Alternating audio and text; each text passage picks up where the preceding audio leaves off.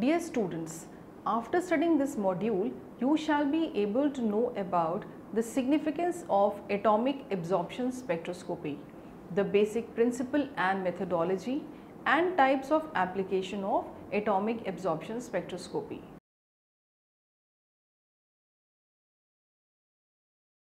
Atomic absorption is a process involving the absorption of light by free atoms of an element at the wavelength specific to that element. It means by which the concentration of metal can be measured in the atomic state. In various phenomena of atomic spectroscopy which could be emission, absorption and fluorescence, energy is supplied to the atoms in the form of thermal, electromagnetic, chemical or electrical energy which is converted to light energy by various atomic and electronic processes before measurement. Atomic absorption spectroscopy is useful not only for the identification but also for the quantitative determination of many elements present in the samples. The technique is specific and sensitive in that individual element in which in each sample can be dependably identified in a small amount. This technique was introduced by analytical purpose by Walsh and Alkemade under the designation atomic absorption spectroscopy. Walsh used the hollow cathode lamps as the light source, greatly reducing the resolution required for the successful analysis. As photomultipliers had become accessible, the complications associated with measuring the absorption with photographic plate were eliminated his introduction of modulation into the system permitted the detector to distinguish between absorption and emission by atoms at the same wavelength. He also utilized the flame for atomization. It is found to be superior to the other techniques as it can be used to determine 50 to 60 elements from trace to large quantities. These may include metals and non-metals.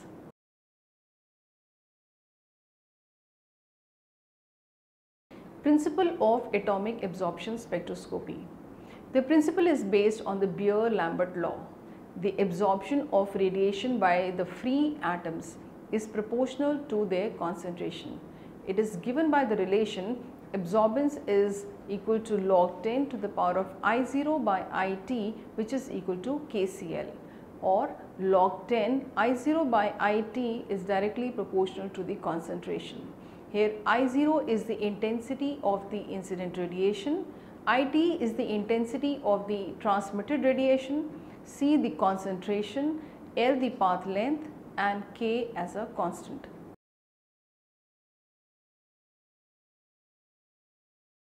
Methodology. The sample solution is aspirated into a flame or heated in a tube to convert them into atoms by the process known as atomization. The atoms then absorb the radiations of the characteristic wavelength promoting the electrons from the ground state energy level to the excited state.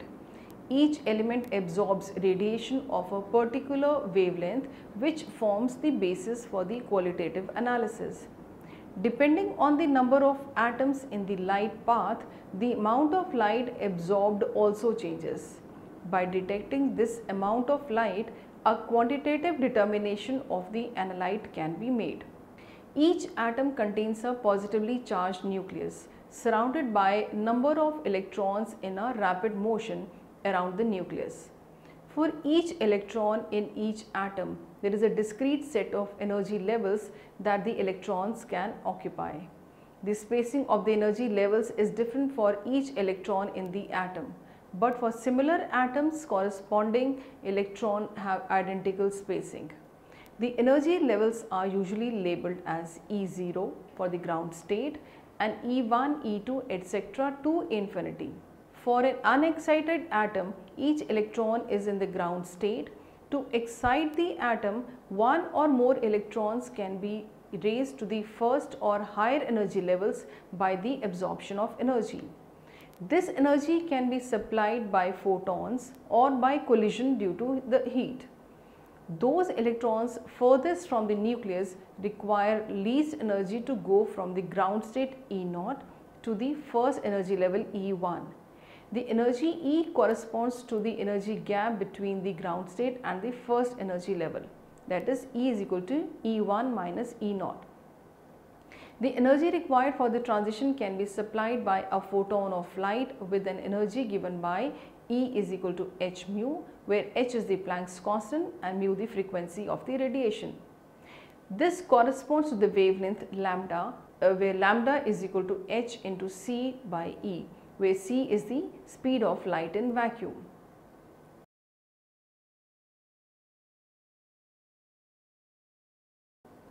Instrumentation of atomic absorption spectrophotometer. An atomic absorption spectrophotometer apparatus consists of firstly the radiation source. The common source of light is a hollow cathode lamp HCL. This contains a tungsten anode and a cylindrical hollow cathode made of an element to be determined. These are sealed in the glass tube filled with an inert gas that is neon or argon at the pressure of about 1 Newton per meter square to 5 Newtons per meter square. The ionization of some gas atoms occur by applying the potential difference of about 300 to 400 volts between the anode and the cathode. These gaseous ions bombard the cathode and eject the metal atom from the cathode in the process called as sputtering. Some sputtered atoms are in excited states and emit radiations characteristic of the metal as they fall back to the ground state. These emitted radiations form incident radiations for the element under analysis. Atomizer Nebulization is the mechanism by which the sample solution is introduced as fine spray into the flame.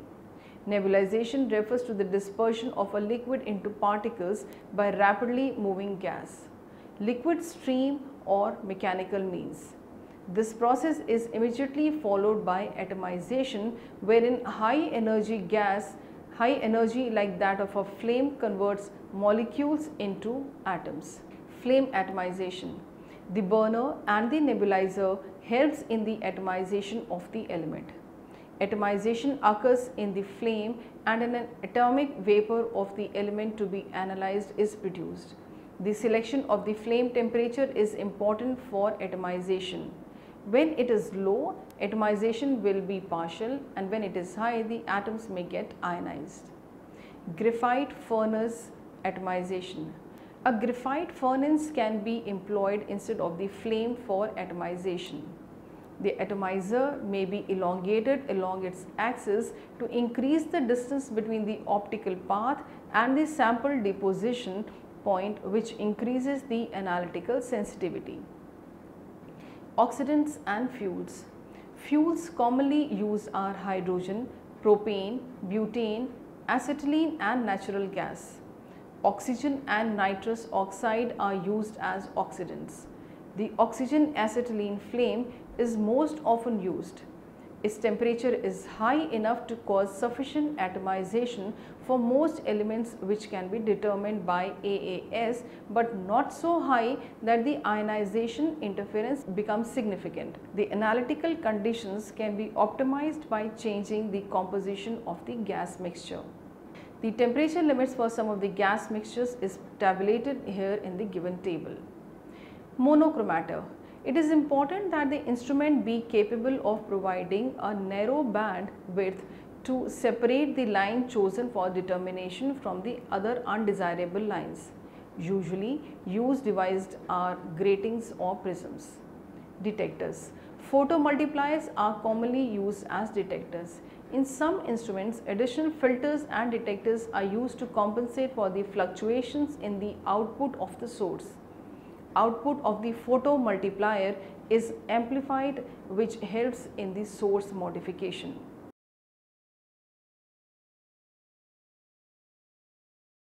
Functioning of the atomic absorption spectrophotometer. Atomic absorption spectroscopy uses the absorption of light to measure the concentration of the gaseous atoms. Since samples are usually liquid or solids, the analyte atoms or ions must be vaporized in a flame or graphite furnace. The atom absorb ultraviolet or visible light and make transition to the higher electronic energy levels. The analyte concentration is determined from the amount of absorption. In this process, a blank solution is sprayed into the flame and the meter is adjusted to zero absorbance or 100% transmittance. Following this, the solution under the investigation is sprayed. The atoms in the ground state absorb certain part of light resulting decrease in transmitted light or increase in the absorbed light falling on the photomultiplier tube. The readings can be tabulated and with the help of the standard graph, the concentration of a particular element in the sample can be found.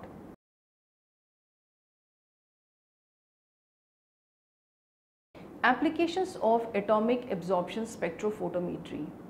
Atomic absorption spectrometry has many uses in the different areas of chemistry. The different methods of atomic absorption spectrometry are very powerful for analysis elements in a solution.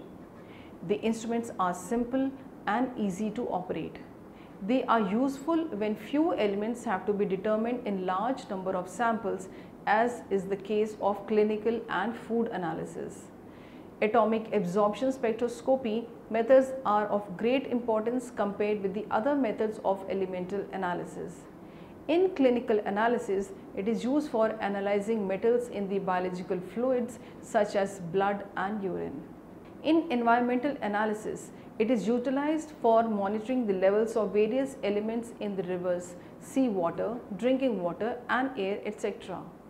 AAS can trace presence of pesticide residues in fruits and vegetables. In pharmaceutical industries, it is used for the assay of drugs. Purity of the sample can be checked for the minute quantities of the catalyst used in the manufacturing process, usually a metal, sometimes present in the final product. Levels of the toxic substances present in the products can be verified and reduced by this technique by using atomic absorption spectrometry in mining industries the amount of metals such as gold in rocks can be determined to see whether is it worth mining the rocks to extract the gold.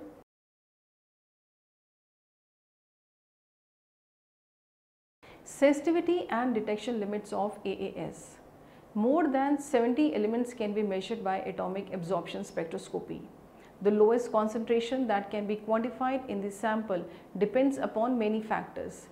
In spectrometry, the sensitivity for an element is defined as being the concentration expressed in micrograms per liter which in an aqueous solution leads to 1% decrease that is absorbance of 0.0044 in the transmitted light intensity. So for manganese, this value is 4 pg with the aqueous matrix. When possible, a calibration curve should be established with the concentration in the range of 20 to 200 times this value. In practice, the concentrations must be at least 10 times higher than the detection limit to give the reliable measurements.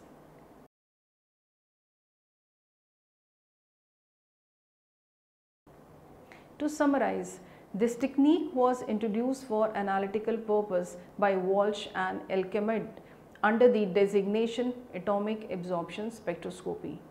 It is found to be superior to the other techniques as it can be used to determine elements from trace to the larger quantities. Atomic absorption spectroscopy AAS is an analytical measurement method relying on the spectroscopic process of excitation. It is used for the qualitative and the quantitative analysis of around 70 elements, metals or non-metals. In atomic absorption spectroscopy, the absorption of resonant radiation by the ground state atoms of the analyte is used as analytical signal. This process is highly selective as well as very sensitive. The functioning of atomic absorption spectroscopy is based upon the principle of Lambert-Beer's law. The sample is first converted into an atomic vapor and then absorption by these atomic vapor is measured at selected wavelength characteristic of atom of each element. The amount of light absorbed is proportional to the concentration of the element. In the simplest form, an AAS resembles a single beam spectrophotometer which contains four principal components. The light beam issuing from the source passing through the burner in which the element is brought to its atomic state before being focused on the entrance slit of the monochromator which selects a very narrow wavelength interval. The optical path ends at the entrance slit of the detector.